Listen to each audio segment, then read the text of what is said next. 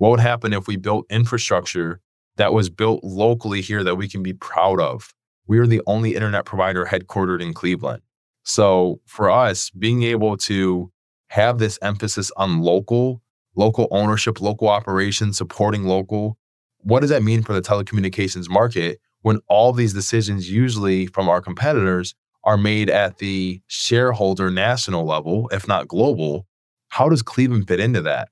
And we don't wait to try and figure that out. For us, we're taking a proactive stance and saying Cleveland has this pervasive digital divide, and everybody here is affected by it. If I'm the small business owner who has a product online and someone doesn't have internet, they're not buying my business. So those are the things where it's like, no, we are all affected by this digital divide. Let us, Cleveland, figure out what works best for Cleveland. That's not to say that these other companies can't exist here or that we can't coexist. I mean, I'm sure we will. But at the end of the day, our approach is they are our competitors, and we are seeking to alter, if not totally disrupt, the way America thinks about telecommunications. And that ground zero is going to be Cleveland, Ohio. Let's discover what people are building in the greater Cleveland community. We are telling the stories of Northeast Ohio's entrepreneurs, builders, and those supporting them. Welcome to the Lay of the Land podcast, where we are exploring what people are building in Cleveland and throughout Northeast Ohio. I am your host, Jeffrey Stern, and today I had the real pleasure of speaking with Joshua Edmonds, the CEO of Digital C. The digital divide, this gap between people who have access to the internet and those who do not, is something you may have heard me bring up a few times before on this podcast. While not uniquely a Cleveland issue, Cleveland historically has been one of the worst connected large cities in the country, with roughly 35% of Cleveland households lacking at home internet access. Digital C, a nonprofit which is based in Hough, right in Midtown Cleveland, was founded in 2015 to bridge this very digital divide and build out a citywide network infrastructure to ensure an equitable digital future for all Clevelanders. To this end, with the backing of the Ohio Department of Development's Broadband Ohio, the City of Cleveland, amongst other funders, Digital C has conditionally secured over $30 million in funding to offer affordable, fast, and reliable connectivity to the city. Joshua came to lead Digital C after serving as the first municipal director of digital inclusion for the city of Detroit, where he had established the Office of Digital Inclusion, developed Detroit's first municipal fiber optic broadband plan, oversaw the deployment of over $70 million to bolster digital equity in Detroit, testified in front of Congress on that matter, and established a 600 plus member public private partnership to the same end. Joshua had made his way to Detroit originally by way of Cleveland, though, after serving as a Digital Innovation Fellow at the Cleveland Foundation, and returned to Cleveland in 2022 to help Digital C reorient around realizing its immediate goals of enrolling roughly 25,000 Cleveland households in Canopy, Digital C's $18 per month internet plan, offering upload and download speeds of 100 megabits per second. This was an awesome conversation. Joshua and I cover internet connectivity as a basic human right, the history and evolution of the digital divide and digital redlining in Cleveland, the importance of digital literacy beyond mere access to the internet, how Digital C plans to make all of this a reality, the opportunity for Cleveland to set an aspirational example for other cities on how to actually bridge the digital divide, and Joshua's journey throughout all of this. So please enjoy my conversation with Joshua Edmonds after a brief message from our sponsor. Lay of the Land is brought to you by John Carroll University's Boler College of Business, widely recognized as one of the top business schools in the region. As we've heard time and time again from entrepreneurs here on Lay of the Land, many of whom are proud alumni of John Carroll University, success in this ever changing world of business requires a dynamic and innovative mindset, deep understanding of emerging technologies and systems, strong ethics, leadership prowess, acute business acumen, all qualities nurtured through the Boler College of Business. With four different MBA programs of study spanning professional, online, hybrid, and one year flexible, the Boler College of Business provides flexible timelines and various class structures for each MBA track, including online, in person, hybrid, and asynchronous.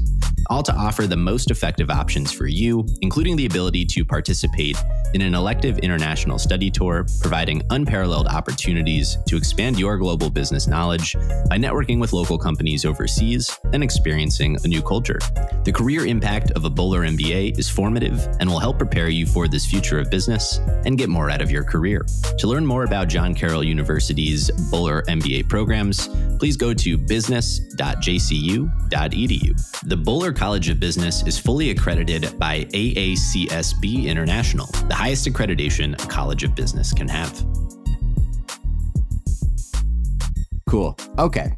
So I was thinking about where to start, and it brought me back to when we had first met when I moved to Cleveland many years ago, and it was in the context of mm-hmm. this this hackathon that you were organizing at the intersection of of civics, technology, and and housing. And so, for me, as long as I have known you, well before even your time at Digital C, you have been interested in this intersection of those things: civic innovation, digital inclusion. And I would love to hear from you where that curiosity and passion stems from. Yeah. So the curiosity really stems from video games. You know, I grew up playing the Super Nintendo, and obviously a lot of the subsequent systems, you know, were part of the Halo generation. So, you know, technology was definitely a thing there. Even overlaying like sci-fi, like I've always just had like this affinity.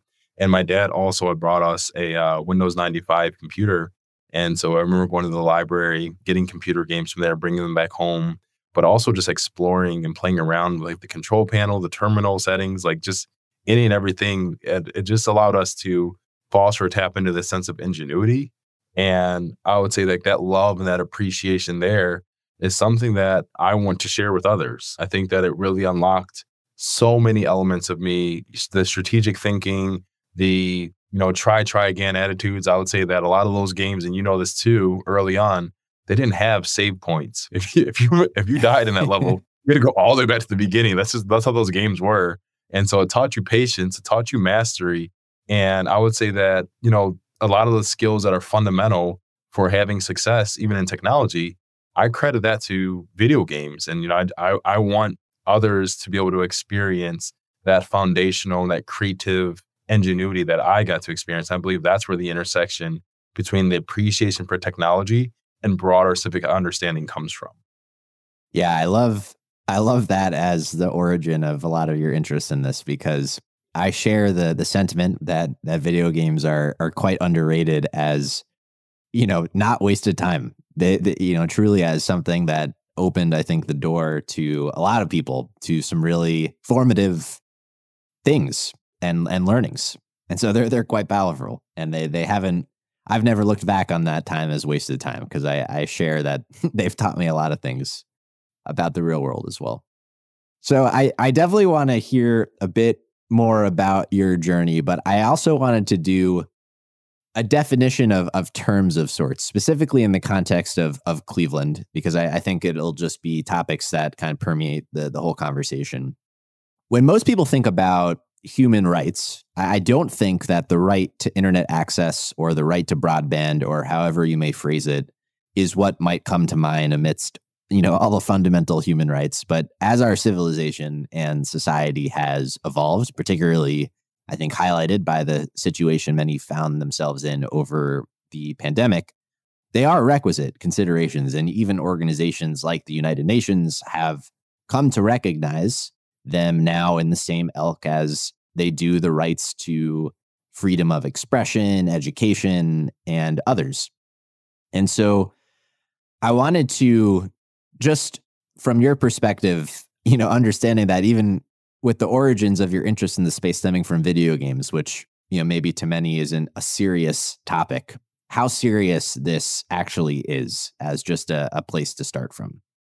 Mm-hmm. Yeah. Well, you know, I, I look at this and I, I go back to there's the late 90s. So we can stay in the 90s for a second. Great. A great time. great time. Larry Irving, he's an incredible thought leader in the telecommunication, digital equity space. And he was working for the Clinton administration. And he saw the rollout of the internet and he coined the term the digital divide. he said that, wow, the internet is going to be incredible. But if we're not thoughtful about the way that we roll this out, this will exacerbate inequity.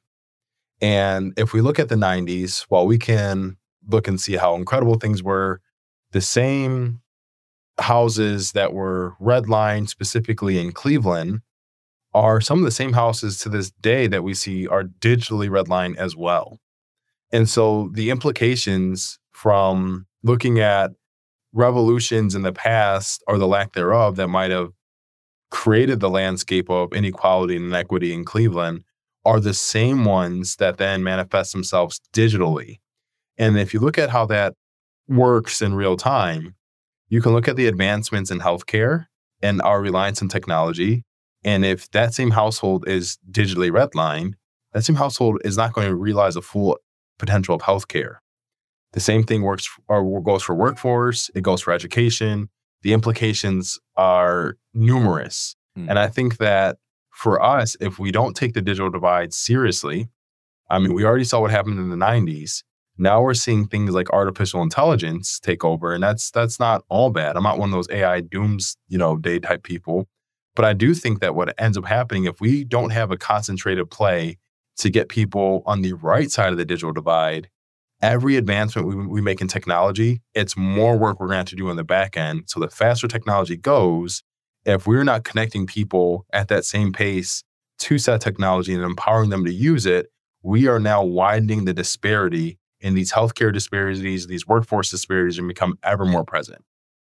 So I, I I appreciate that you've called out. I think this clear overlap in what would be the causal relationship between connectivity and all these other kind of fundamentally important things. I think even like education and poverty.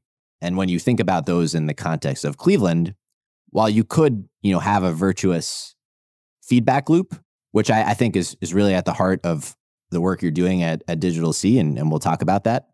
But it, in Cleveland, that feedback loop has long been, I think, somewhat perniciously operating in reverse, mm. leaving us you know, with the the fallout of the digital divide and digital redlining and kind of the the realities of Cleveland as a place where literacy really suffers, where poverty is is is at its worst. That's right.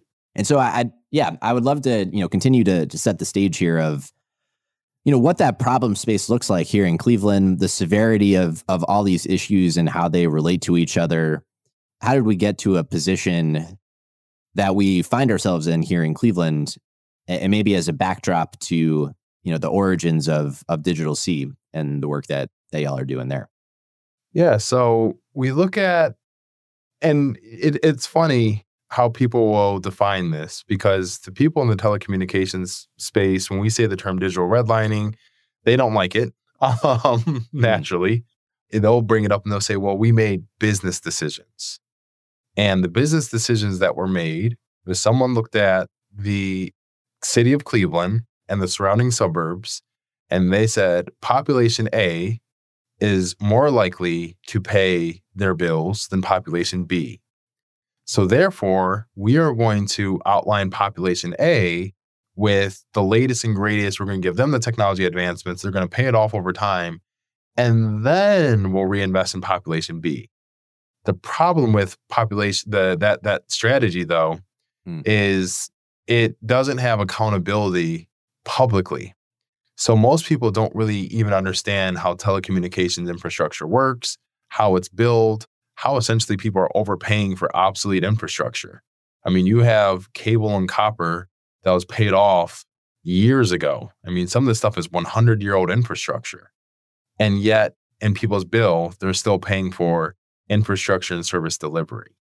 And see, those are the type of things that when you then look at housing insecurity, you then look at poverty and how perpetual billing can disenfranchise people, it starts to very clearly point to the need for an affordable and reliable solution. 100 year old infrastructure and trying to compete with someone in a suburb who might have the infrastructure from five years ago, how that's not even comparable at some point we had to look at this and say like someone has to correct the telecommunications market Hmm. Cleveland is ripe for that opportunity. And that's where Digital C comes in. So we looked at the history of digital redlining and in Digital C's origins, you know, we're a 501c3 nonprofit, more of a technology social enterprise, and that we are a full-fledged internet service provider. When Digital C was first starting, we were prioritizing the areas that we deemed digital equity high need areas. And us deeming those areas, we looked at where the pervasive digital redlining occurred and a number of other socioeconomic factors. We said, we're going to prioritize those areas first. Typically in the business world, they would do the inverse. Right. They're going to go where, again, all the other demographic factors look great to them, and that's going to satisfy their shareholders.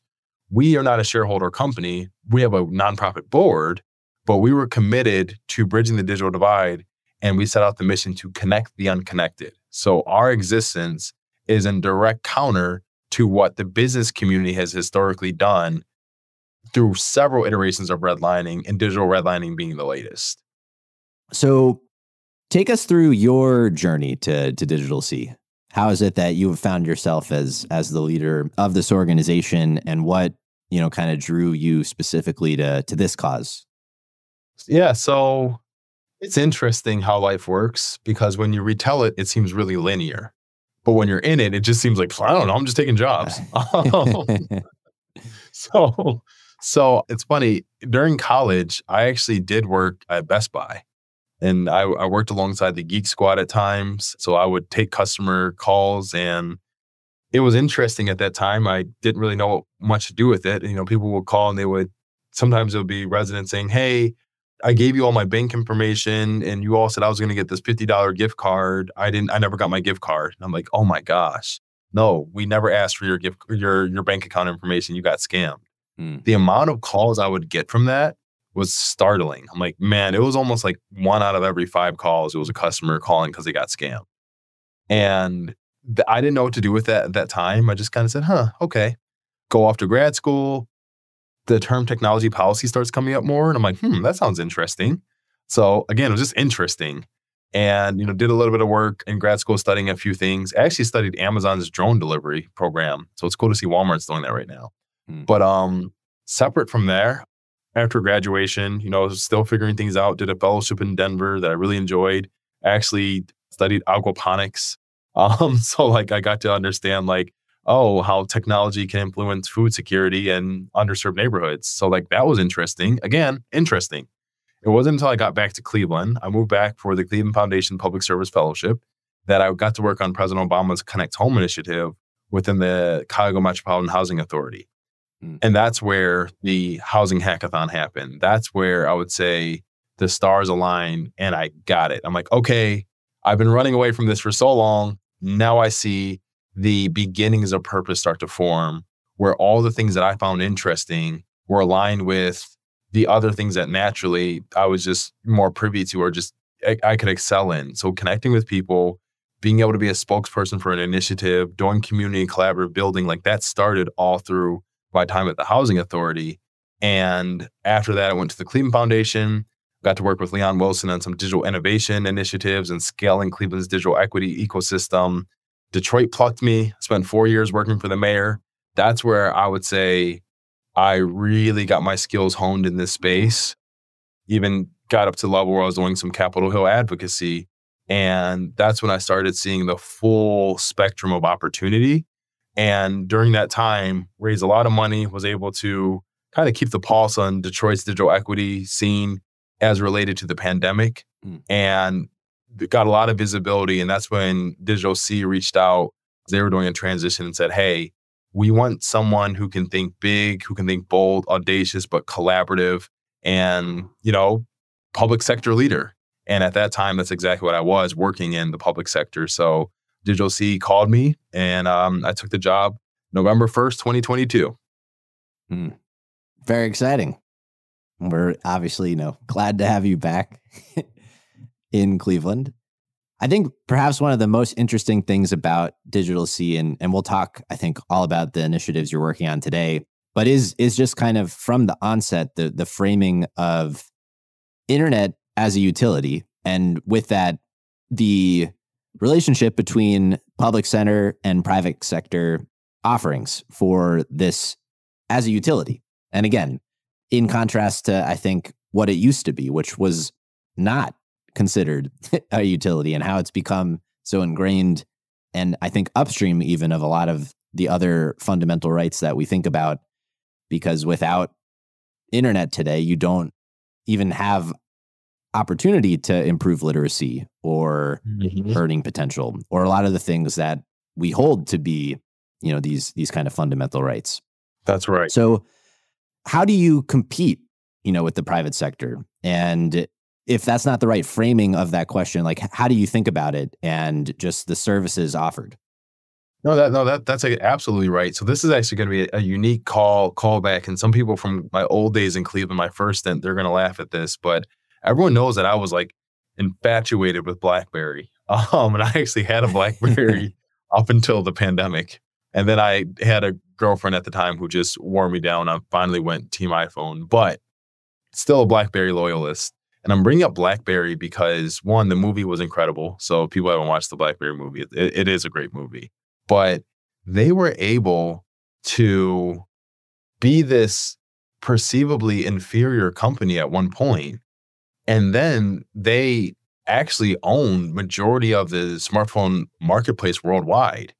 But what's even more interesting is the way that Apple was able to then just take everything from them mm. with an actual inferior product. The iPhone was not superior to the Blackberry from a technology standpoint.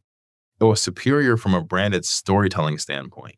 And that's the thing that for us, yes, we are competing with all of the large companies on the internet front. You know, they don't look at us as a canoe next to a battleship. They look at us as a competitor in that field. And for us, it's a unique opportunity to disrupt the telecommunications landscape by investing differently, by thinking differently, by giving people a product that they legitimately deserve. There's so many people who can move to Cleveland who will choose provider one or provider two. I'm not going to name them because if I do, they're they're just going to get visibility, and I refuse to do that. But provider one and provider two, they're going to get named. they're just going to select them, and it's not because they did a phenomenal job. They just got selected because people know them. And so at our point, it's like, okay, what happens if one, people locally can get to know us, but two, we can actually do a phenomenal job. We can stand behind our product where we can say, hey, we know perpetual billing is already something that, that people struggle with, especially in a market where a third of Clevelanders are underbanked. But what would happen if we actually locked in our prices and we didn't change them? That every six months your price didn't change, or that we didn't have to lie to get someone a promotion, to get in on a promotional rate, and then we're going to double the cost of the service. Like, what happens if we just treated people transparently and fairly? How would they respond to that? In addition to that, what would happen if we built infrastructure that was built locally here that we can be proud of? We are the only internet provider headquartered in Cleveland. So, for us, being able to have this emphasis on local, local ownership, local operations, supporting local, what does that mean for the telecommunications market when all these decisions, usually from our competitors, are made at the shareholder national level, if not global, how does Cleveland fit into that? And we don't wait to try and figure that out. For us, we're taking a proactive stance and saying Cleveland has this pervasive digital divide and everybody here is affected by it. Mm-hmm. If I'm the small business owner who has a product online and someone doesn't have internet, they're not buying my business. So those are the things where it's like, no, we are all affected by this digital divide. Let us, Cleveland, figure out what works best for Cleveland. That's not to say that these other companies can't exist here or that we can't coexist. I mean, I'm sure we will. But at the end of the day, our approach is they are our competitors and we are seeking to alter, if not totally disrupt, the way America thinks about telecommunications. And that ground zero is going to be Cleveland, Ohio. Mm. And what what have you learned? What what have you seen as at least, you know, the approaches you've taken so far, the learnings from them and how you've positioned yourself to, I think, fundamentally at least alter the way people think about how this could work? Well, what we've learned at the onset is people people here are incredibly skeptical. and that's not a yeah. bad thing. I mean, that's just the reality of the situation. I know I know where we are. And they're skeptical for a number of reasons, but I think that their skepticism is something that we had to explore. And what that looks like in real time is if we're connecting someone and we tell them that the service is $18 a month and no qualifications, uh, there's no way. No way. That's too good to be true. No, no, no. This this is what it is. No, no, no. You guys are just going to. So they they they oftentimes people judge us from the experiences that they've had with others. Hmm. And I, I, mean, I get it. Fair point. I, I understand human nature. But at the same time, you know, we are now starting to see there's a block in Cleveland that we cover in Glenville. And we went door knocking there. It's a point of pride. Every home on that block has our has our service. And it looks great to see that. I mean, it's like 20 to 25 homes in a row that all of them just green dots. And seeing those, like that's beautiful to us that they were that we're seeing we're, we're able to overcome the skepticism, but it's loud. And I also would say that from a startup standpoint, because you know, yeah, we're a 501c, we're, we're a social enterprise, but we're also a startup. And from a startup standpoint, I would see that, you know, I think that we as a city, we have room for growth in the way that we support startups here. I think that there's great visibility that we're able to achieve. There's great storytelling and support. But I would say that as a community, we as a city need to figure out a way to encourage greater growth and greater startup support than what's out there right now. I think the skepticism can be very loud and the support can be somewhat silent. That's not going to deter you from doing what you're doing because this is purpose driven work, but it's a very astute observation that makes us reframe and ask the question is Cleveland startup friendly? Hmm. Well, a few threads to pull on there, but I'll, I'll start, you know, maybe with the, the Stockholm syndrome that I think most of us feel about internet service providers and how we literally have become accustomed psychologically to coping with how poorly we are treated that the the prospect of a good offering in the space puts people on guard. There's like it sounds too good to be true. So how, right. how, how, do you actually offer such a, a compelling service at such a good price? The beautiful thing is we won a um, a pretty big contract with the city of Cleveland last year. It's a $20 million contract. We received $10 million from the state of Ohio, 20 million from the Mandel and Myers Foundation, and a $3 million congressional earmark. So those big numbers are that that's how we can do it. but separately from there, we can do it because we're making a an estimate on market share in the total addressable market that we can disrupt. If we're able to get 15% market penetration in Cleveland, and that's 15% of people taking our service, well, that actually we're able to be sustainable as a company. Hmm. So all we have to do is get 15%. And that's the part where it's interesting when you have a nonprofit doing this versus a for profit. Because a for profit, obviously, in, in the name, they're going to work and their metrics are going to make sense for a profit. A nonprofit, we have whatever profit we make that goes back into the business so we're sustainable. So to be a sustainable nonprofit, that is one of our goals. And so if we wanted to make a profit, yeah, we'd offer greater, you know, packages. We wouldn't do $18. We'd do 50 or $60, or we would just lie in mass to people and then secretly over six month increments just keep changing their bills. But since we're not motivated to do that, we don't need to do those tactics. And so our whole thing is building out this model, making it sustainable, developing a product that people deserve, and then sticking with that. I'll be honest, $18 a month product, that was developed before the pandemic. We're we are committed to that product for the next five years with the city of Cleveland, and then we'll adjust it for inflation after that. So in reality, for the, almost a decade, our internet will be roughly twenty dollars or less. And I think that that's phenomenal to be able to say because that's then going to force everybody else to then acquiesce to Cleveland's rules. And so our whole thing is about getting the take rate that can sustain it and making sure we're staying on the, the, the leading and bleeding edge as relates to our marketing, our advertising, and advancements in technology. The advancements in technology today on the wireless front allow us to think about this in a much more efficient way. And now that's not coming from me. I have one of the best chief operating officers in the game, Jose Valdez, brings more than 30 years of telecom experience and his mind is incredible. He used to work at these large cable companies, so he sees the way that they operate. And, you know, without him, you know, I, there's no way we'd be in the position that we're in. So, I mean, I think when you say, well, how are we able to offer it? It's partly one, because we're not in it for a profit, and partly two, because we just have a phenomenal team and their expertise is unrivaled.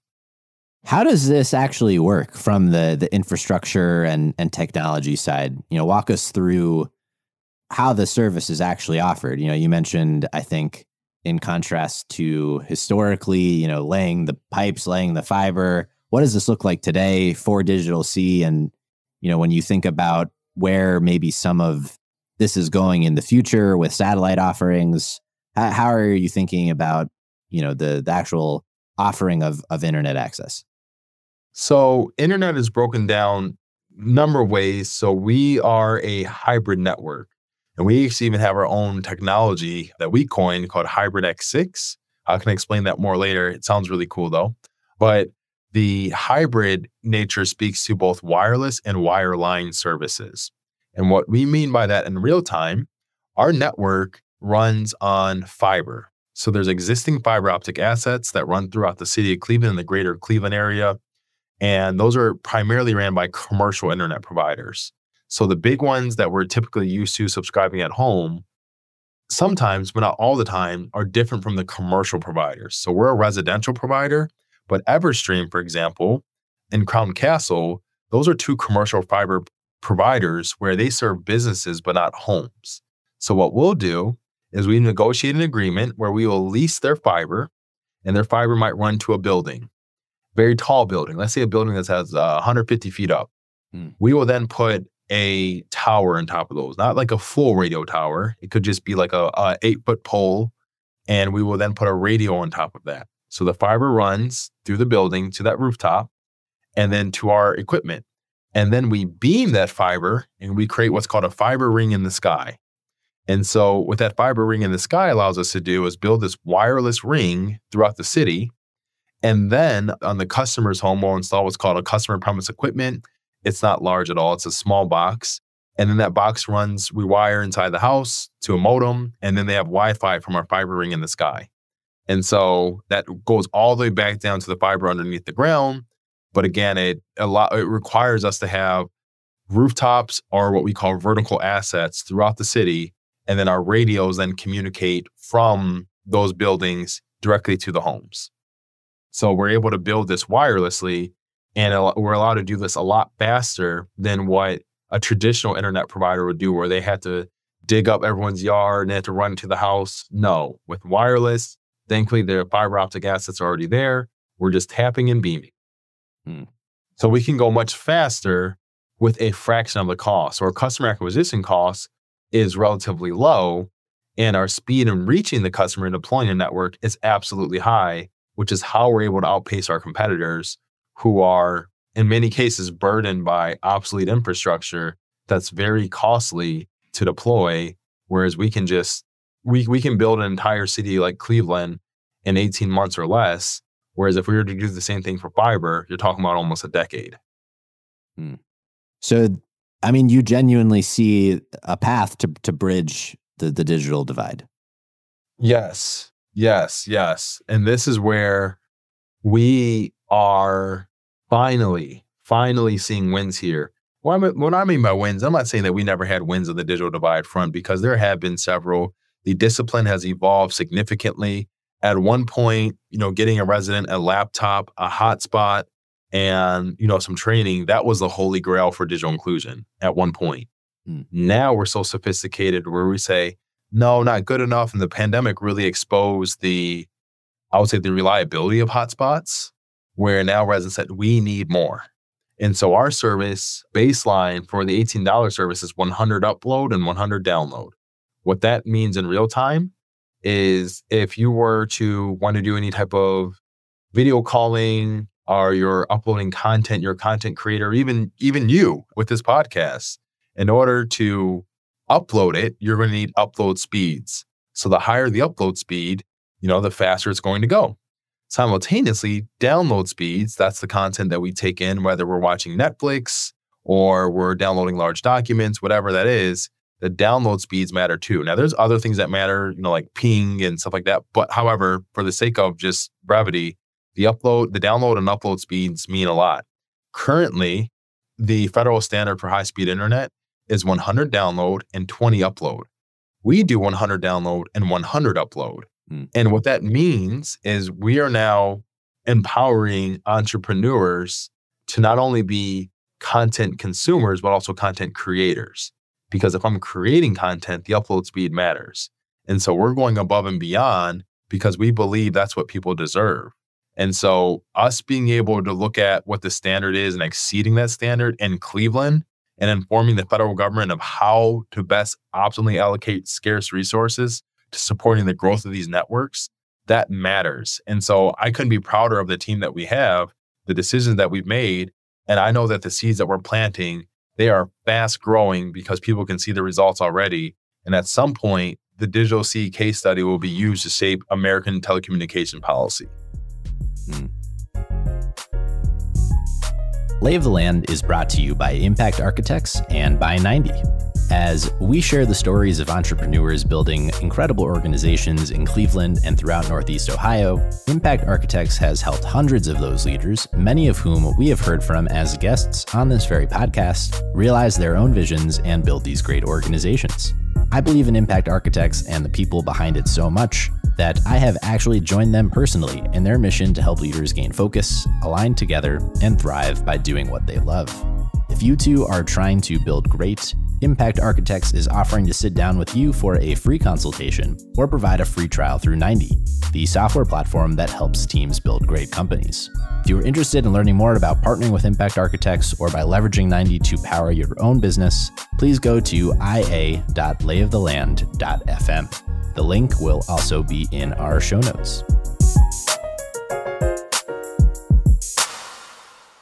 Well, I, I, think you've made this point that access itself is is necessary but not sufficient, and the pandemic, I think, exacerbated the degree to which you know not only do you need connectivity, but you actually need a quality of it, and at the same time, I think there's this whole corollary, very related piece that speaks to the importance of of digital literacy and what you can do with the internet and connectivity mm-hmm. in addition to just access itself. And so I, I'd love to hear how you and Digital C are thinking about, you know, what it is to empower people not only with access, but but literacy in in this digital sense and and what that piece of of the equation looks like. Well, you know, this this is something where let's go back to the 90s again. the information superhighway that's what we used to call the internet. The internet at one point was information superhighway, and we looked at libraries as almost like driving centers, like a Department of Motor Vehicle, so to speak. We're like, hey, they are going to teach you how to drive on the information superhighway. So during the 90s, a lot of these libraries had computer labs. You could go in there and you could just browse for like 30 to 60 minute sessions. And, you know, they had a proctor in there just teaching you like what to click on and what not to click on, stuff like that. And it's funny because that model has has been one that has scaled in significance. And even during the pandemic, we saw it the most. But today, we still hold that true. Like we are building one of the fastest freeways that many people have seen as it relates to their information. And in order to effectively build this, it requires us to be able to maximize safety there are a lot of people who are not protected online. I mean, you can call 911 when something's going, you know, wrong or even on the real freeway, you can call 911 if you see something. Hmm. Does that equivalent exist for people navigating the information superhighway? No, it does not, which is why people are getting their identity stolen, why they're getting preyed upon, why during a political election year they can't spot deep fakes and the implications there are massive, or why when the census goes exclusively online in the future, and people not counting the implications there. And so now more than ever, as we're looking at building this incredible infrastructure, we had to have the complementary digital literacy and skilling piece. Thankfully, Digital C, we do that part well through our Click initiative. So, Click is one of our brands. That's how we branded the digital literacy and skilling.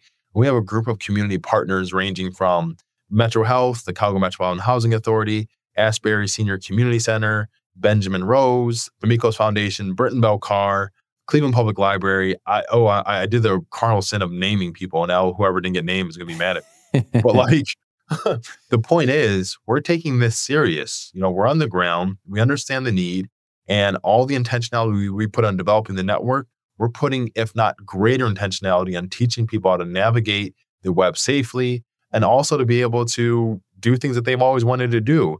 You'd be surprised what some people have always just wanted to do, but were held back by their fears of technology. There are some people just like, you know what? I've always wanted to create one of those nice presentations, but I don't know how to do any of that stuff. And I, I don't really, it's like, no, we'll teach you how to do a PowerPoint. And so those are the things where, like, thankfully, we're at the point where the community is incredibly receptive to that. And that is a great starting point for us to then get into how someone can then navigate online banking or how someone then can apply for social service benefits that they've qualified for for so long, but the barrier was online access and they didn't take full advantage of that, effectively, you know, wasting taxpayer money that's allocated that never gets spent. And so the digital divide is such a force multiplier. And I would say that the digital literacy and skilling undergirds even more than the infrastructure at times the need for that training at scale. Mm. Well, and then on on the flip side of it, I, I'd love to hear in the instances where you've been able to roll out access to folks who historically have not had it, what the downstream implications to those people have been. You know, the outcomes, the impact in their lives, the the community stories. I, I think you've mentioned already some at a high level of what those might be from digital banking education, you know, commerce, all these components, but make this real for us. What does this look like when people get access to internet who historically have not had it? Yeah, yeah. And this is this is one of those beautiful things where it's either they might not have had it or if they did have it, they weren't really taught how to fully use it. Hmm. And I think that's the thing that we're also seeing too. No different than on the literacy front, we see people who know how to read maybe a Facebook post, but don't necessarily know how to read, you know, something that could help better their lives from with advanced literacy. And what we call those people, they're functionally literate. That same functional equivalent it, it exists in the digital literacy side too, where people are functionally digitally literate, where they know how to create an Instagram, but they absolutely do not know how to, you know, convert a Word file to a PDF for a resume submission. And those are the type of things where we see such great opportunity but it also lies in our branding and how we, you know, discuss our service, discuss our partnership, and discuss our offerings because no one wants to be told that they're stupid. Mm. And there's a fine line in how we deliver information to people where we don't, we can't afford to come off as paternalistic because the minute we do that, we lose people. And so it's a, it's a very fine line that we have to, we can't get lost in the sauce, can't get too caught up in, well, we're doing a good thing yes, we might be doing a good thing, but we need to do the good thing the best way possible. Otherwise, we've now limited people in their growth and their learning because they'll just say, oh, yeah, yeah, I understand. And then they'll never come back and they didn't fully understand either. Hmm. Well, I, I would imagine this is, you know, partially the power of the local component of of the whole digital C initiative. You know, that you guys are building out of Hough and focused on the neighborhoods that you are as a starting point. I'm curious, you know, what you learned and saw, you know, in Detroit in, in kind of kindred cities with similar histories that you feel is like extensible in the digital C narrative. You know, when you think ultimately about the kind of impact that you're having, you know, with with maybe digital C as a a beacon, uh, an example of of the playbook of how to do this at at a larger scale. How do you see, you know, the the path forward from there? Well, I, I would say one, I shouldn't say it's great, but knowing that every city has a digital divide, every city is also different, but the digital divide seems to be eerily similar. and mm. so the thing is, our lessons that are learned in Cleveland, all the way from navigating the lobbying that was going against us. I mean, that's something that I don't talk about a lot, but we've been lobbied and we will continue to be lobbied heavily by people with massive advertising budgets against us. so that is a reality that anyone who seeks to do this work, you know, we're going to show people how to do it. In addition to that, even being able to navigate with political stakeholders. Messaging matters a lot. You know, we are in an election year right now. In addition to that, there's a lot of people who are hearing a whole bunch of different things. How do we take our experiences in Cleveland and inform stakeholders beyond. I mean, a digital divide in Appalachia is still a, a digital divide that will affect Clevelanders. A digital divide anywhere is bad for all of us everywhere. And so, knowing that, I think that our approach has just been collecting as much information as possible on the ground and then seeing how that can inform our efforts while at the same time you know being very well aware of what are, what's happening in other cities and where we differ i'll say that for example in detroit you know detroit has a very proactive community organizing scene around technology and that made it a lot easier to do the work there i would say that the funders were much more willing to work together and that's not a shot at cleveland's funders but it's just one that Detroit rallies a bit differently. They use that negative narrative that was around Detroit for so long, all the way from National Geographic's terrible coverage of Detroit at times, and even national other national media outlets how they covered Detroit. They even had to apologize to it. Detroit leaned into that and built community through that struggle. So doing community building around the digital dividing in Detroit would be different from Cleveland. And that's not to say Cleveland didn't have some of that, but not nearly to the degree that Detroit did. And so I think that there's a secret recipe for whatever city you go to, unlocking that thing. See, the thing about Cleveland that we we get to unlock here is Cleveland is, is a city of underdogs. We at Digital C understand that. We overstand that point. We know we're underdogs as relates to this internet game or this fight. And we are committed to playing that role because that's a value that Cleveland plays. And so by aligning ourselves and knowing what these values that are intrinsic to those cities, I think that's a recipe for us having success, not even just on the digital divide, really anywhere, but especially on the digital divide as access to information is, you know, the more information you can get to people, the more you're able to get them to rally behind whatever cause you're putting in front of them. Hmm.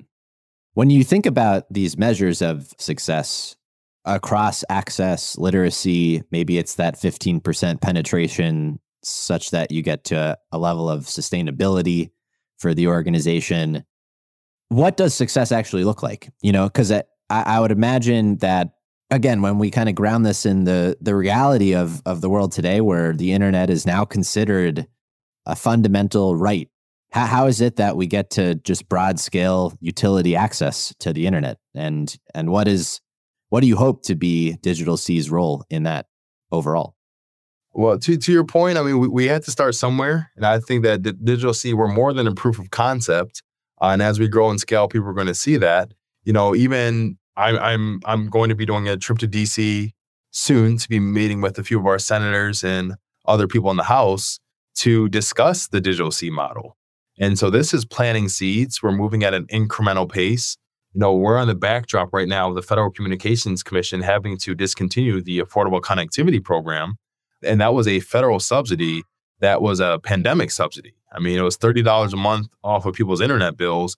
And Cleveland per capita is one of the highest enrolled cities in the country. Mm. And so with that, with that subsidy going away, that leaves more questions than answers. And thankfully, Digital C is one of these answers that people should look to and say, well, instead of us investing money in perpetuity to subsidies, which doesn't actually correct the market, why not look at something that does disrupt the market? Why not look at something that says, man, if you build out this network, put affordability, just build it into the model, then all of a sudden we don't have to worry about every five to 10 years or so, whenever there's, God forbid, some type of tragedy, we now have to raise billions more dollars to then subsidizing something that, quite frankly, just needs to be disrupted.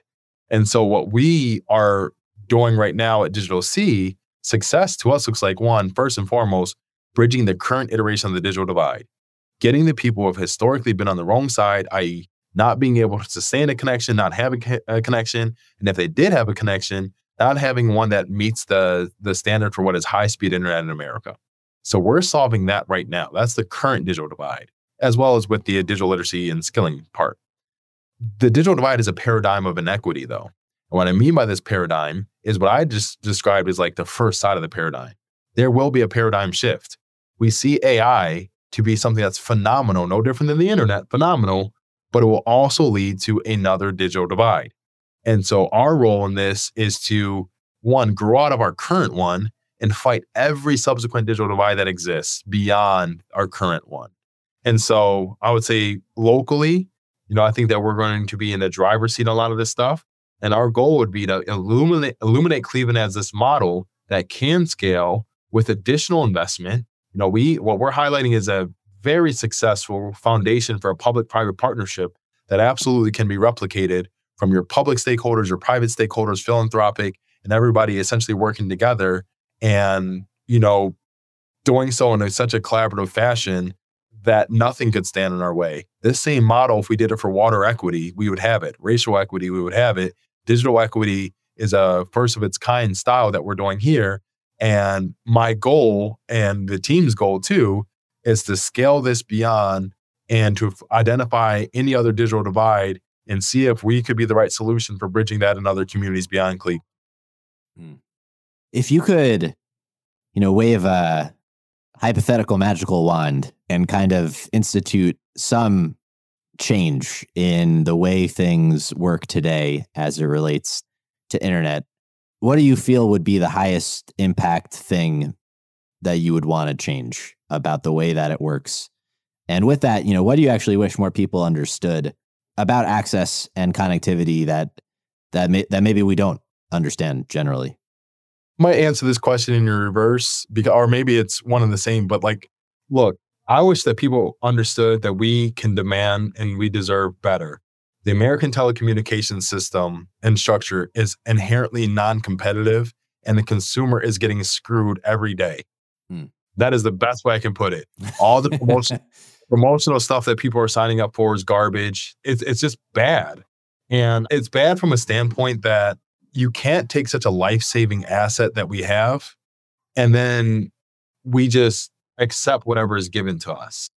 I believe that Americans, Clevelanders, Ohioans, Midwesterners, whatever, we deserve better.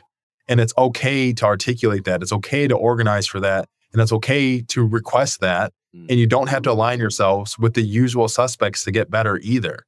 There's this this thinking, and it was repeated throughout some of the hearings that we went through last year, uh, well, Digital C, you guys didn't have the greatest past. And as we were scaling our company, we were figuring things out. And sometimes we were not successful with our deployments. And it was like, you know, you all don't, you guys have a challenge pass. That's what, you know, people kept bringing up. Yeah, yeah. And I wanted to be like, okay, we have a challenge pass. You do realize that we're in one of the most digitally redlined cities. So where's that same animosity or investigative reporting for the people who justified our existence? Now, that doesn't make Cleveland special because, again, there's a digital divide in arguably every major American city, and especially on the rural side. So it's like clearly what we've been doing hasn't worked either. And we can think bigger, we can think bolder, we can think much more disruptive. The same country that created the internet isn't even in top 10 in the usage of the internet. Hmm. How does that make sense?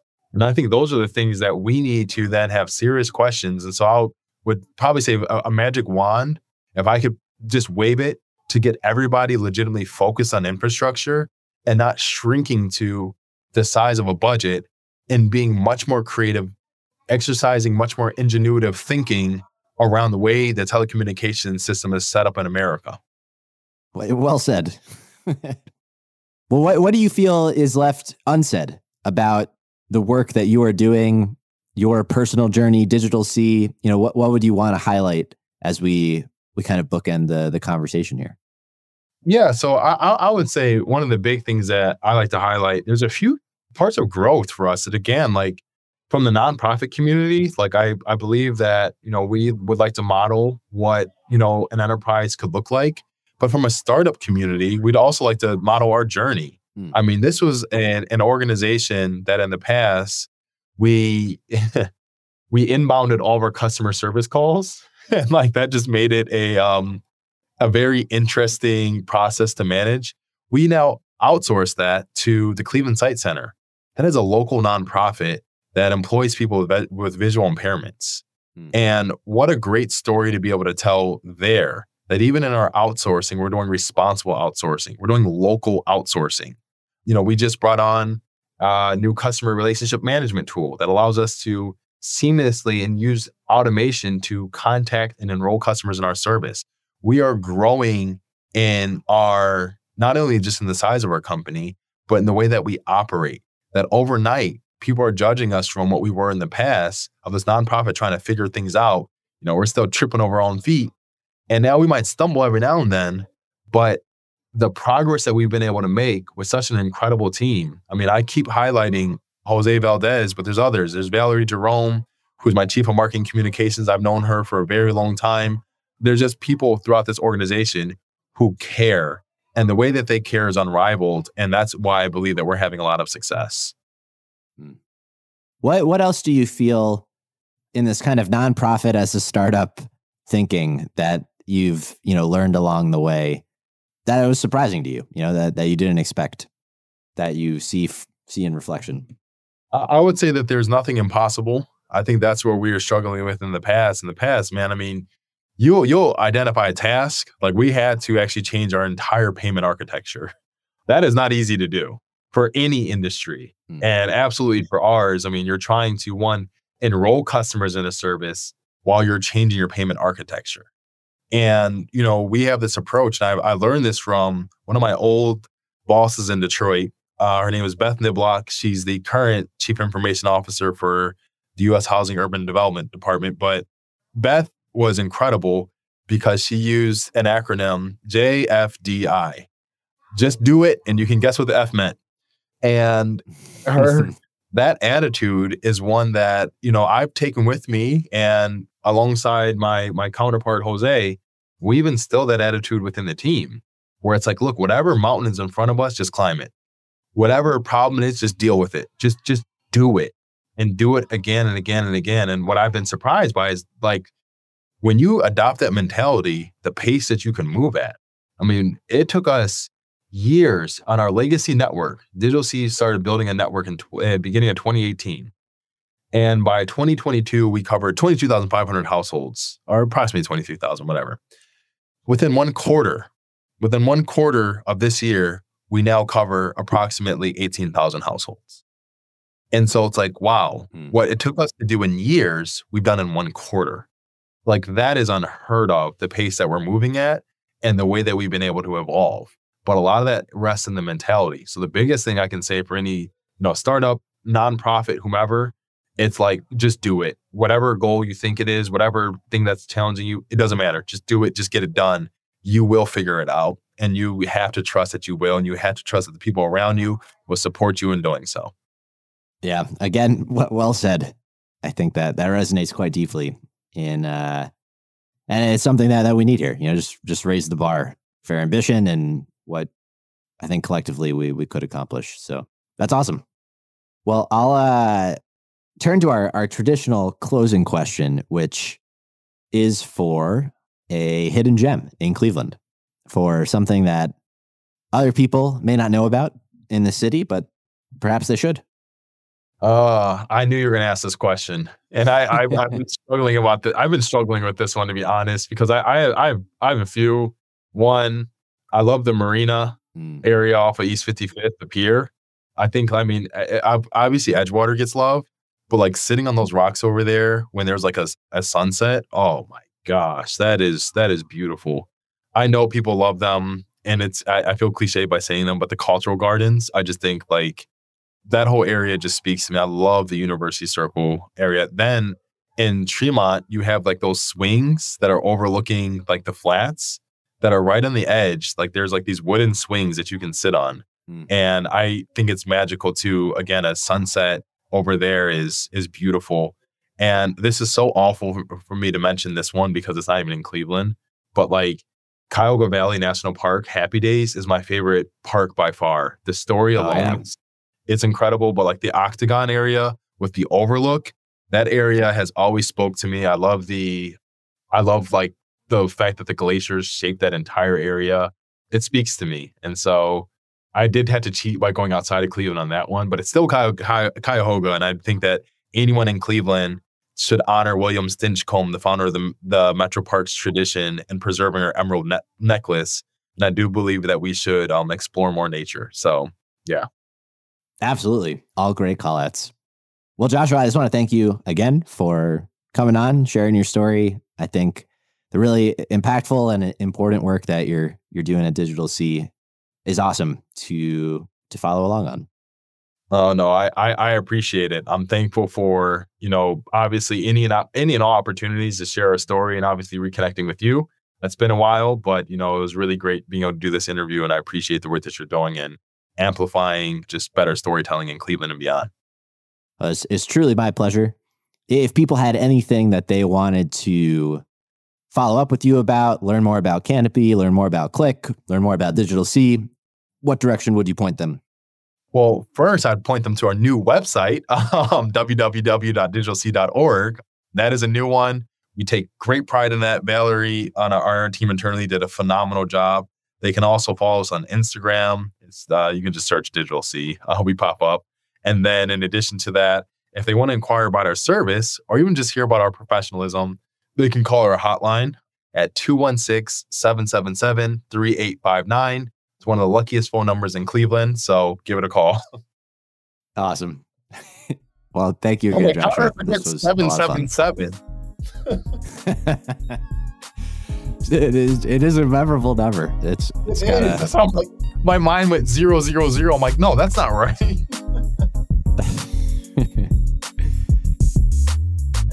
That's all for this week. Thank you for listening. We'd love to hear your thoughts on today's show, so if you have any feedback, please send over an email to jeffrey at layoftheland.fm or find us on Twitter at podlayoftheland or at sternjefe, J-E-F-E. If you or someone you know would make a good guest for our show, please reach out as well and let us know. And if you enjoy the podcast, please subscribe and leave a review on iTunes or on your preferred podcast player. Your support goes a long way to help us spread the word and continue to bring the Cleveland founders and builders we love having on the show. We'll be back here next week at the same time to map more of the land. The Lay of the Land podcast was developed in collaboration with the Up Company LLC. At the time of this recording, unless otherwise indicated, we do not own equity or other financial interests in the company which appear on this show. All opinions expressed by podcast participants are solely their own and do not reflect the opinions of any entity which employs us. This podcast is for informational purposes only and should not be relied upon as a basis for investment decisions. Thank you for listening, and we'll talk to you next week.